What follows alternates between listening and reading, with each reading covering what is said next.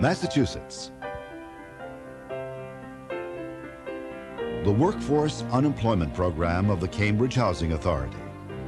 A unique combination of elements to help teenagers break out of poverty and build job skills and self-esteem.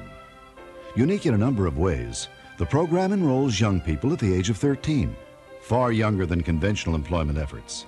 It works out of the public housing project where the young clients live, not out of a school or public agency. The program involves tryout job experiences of all kinds in local companies to help build job skills. It does not have as its goal immediate and permanent job placement.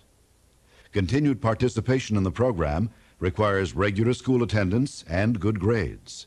Also, after school learning sessions. Workforce includes team building extracurricular activities, such as camping, skiing trips, and urban expeditions.